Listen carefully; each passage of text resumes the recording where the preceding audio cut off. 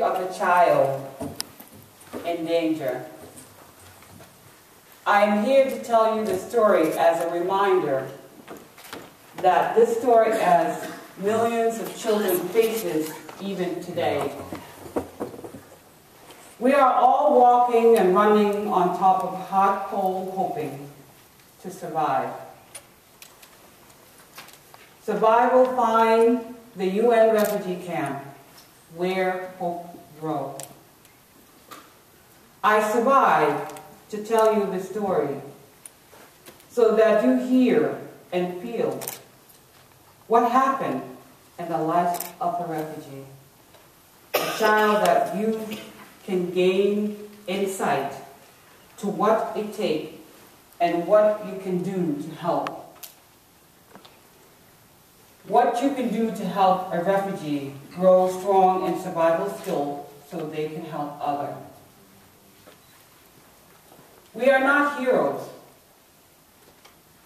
We are only children who avoid death by holding on to everyday hope.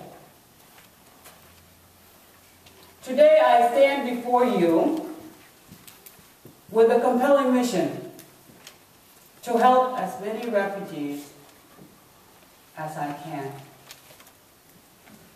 If you walk with me as if you were one of the refugee children, you may see fear in some eyes, but those who are running to safety will also see hope. My day began like any other day.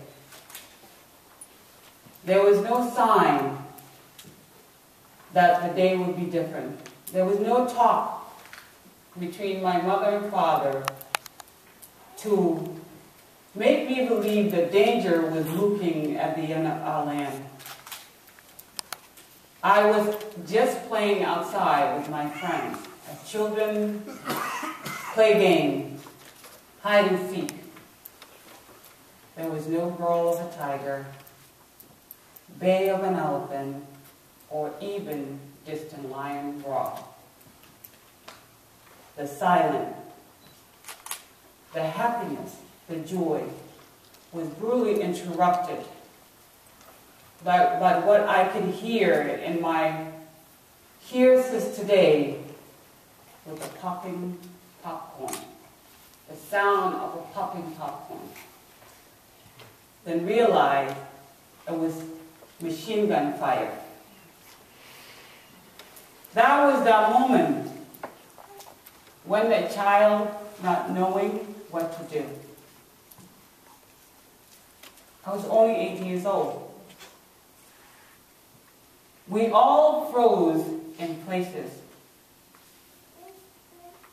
wondering what we do as the machine gun continued.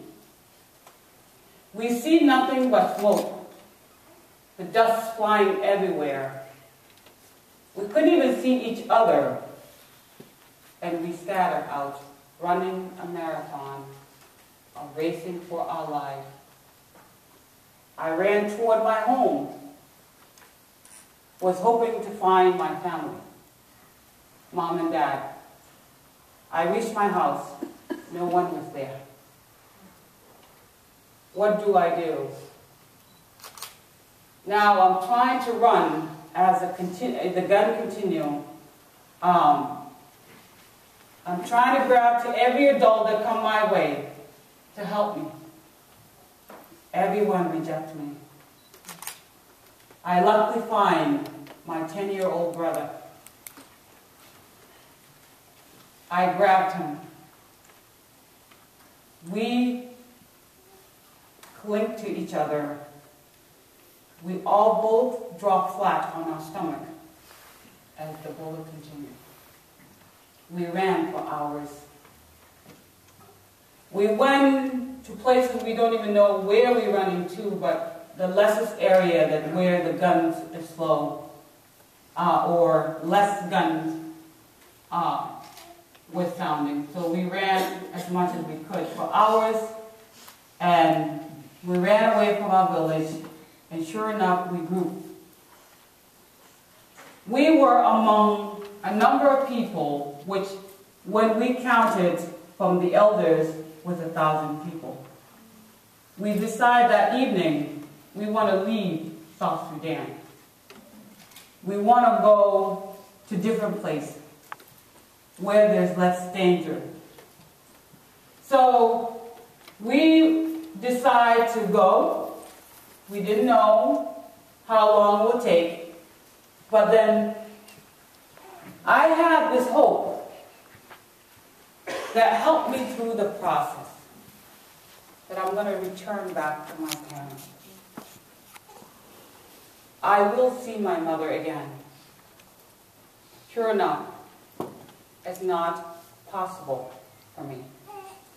We took off. We went toward Ethiopia. We left Ethiopia. We went toward Kenya. We walking by foot. Now, I remember counting 45 days of walking in the wilderness where there's no food, no water. The most dangerous animal was the friendliest to us. We had to wake up early in the morning so we can beat the rising sun to have a chance to drink the dew from the, from the leaf.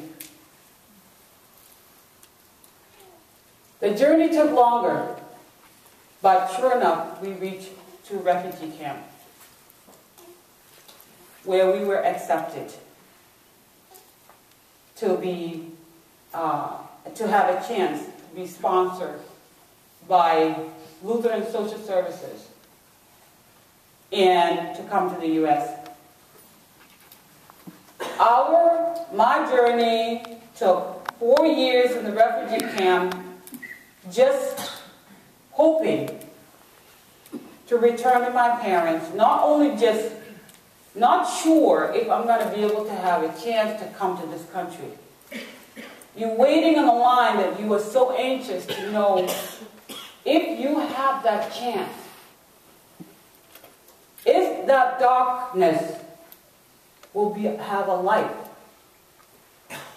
Many refugees suffer in the refugee camp. There's not enough food. Now, we were greeted and given a sheet. You know, when you're in the refugee camp, they either give you a tent where you can have it as a home. But in my case, because there were so many refugees in that camp, Kakuma camp, we were only given a sheet. And that sheet was my home for four years. So we then, one day, got up and our name was listed and was accepted to come to the U.S. Now there's this battle. Is it, should we go back home to find our family? Should we come to the U.S. and not sure where we're coming to?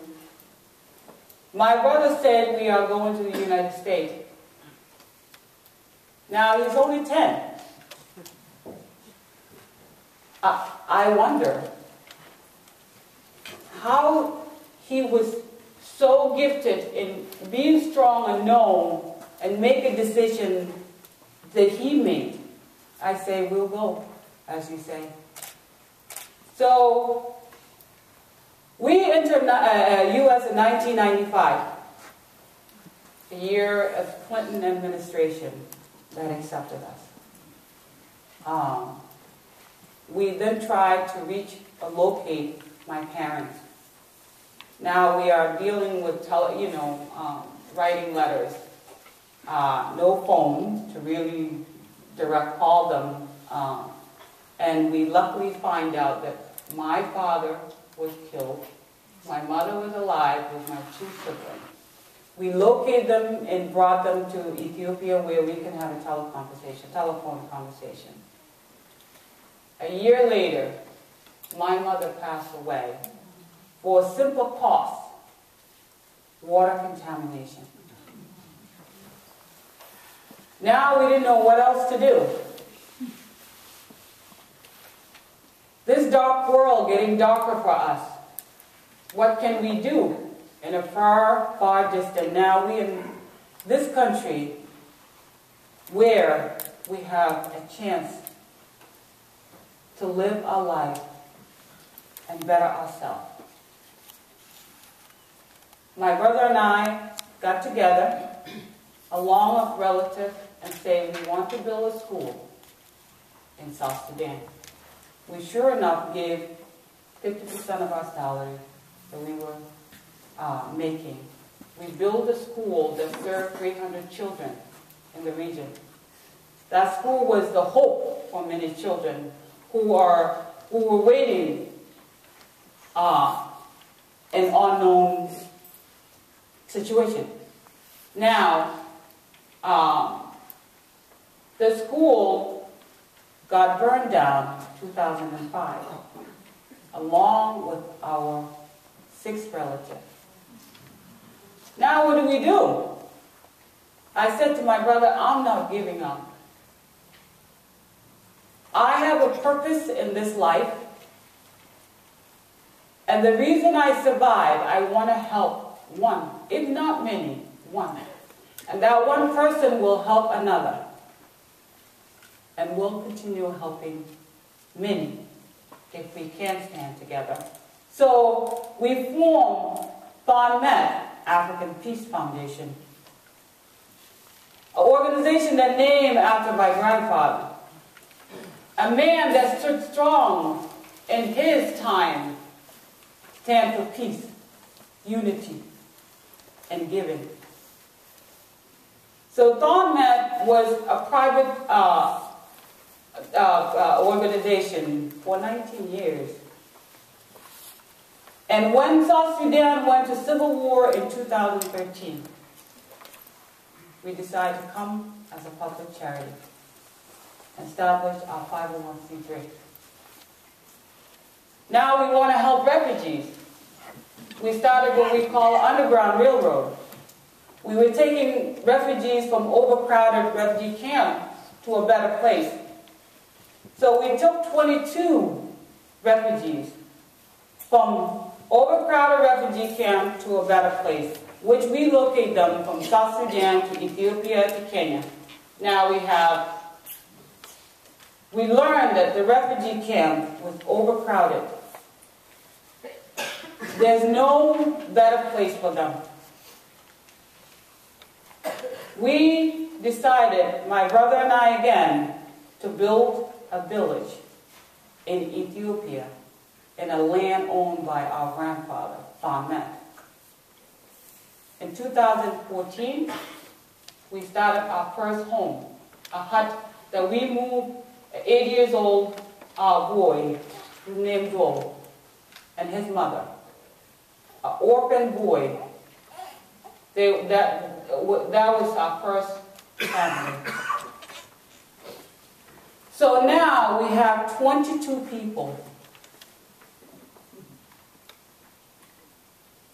in this village. And we want to build more for them. So our organization is small, but I have I know in my heart big.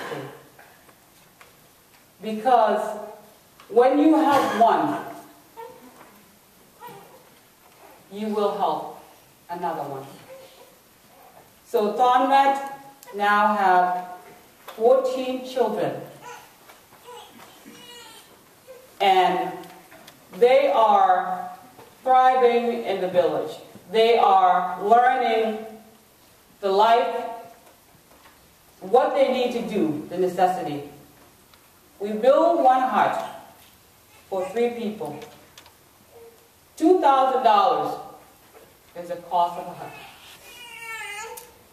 And we're not only giving them a hut, we had to purchase a cow, a canoe. Now the kids have volunteer teacher who is teaching them outside a tree. We also learning the, uh, teaching them the process of agriculture, so where they could sustain themselves and learn how to survive for their own. Now, there are thousands, millions of refugees waiting in refugee camps right now. But because we cannot bring them, we cannot reach all of them right now, we are giving them hope by building a hot home for them. So thank you very much.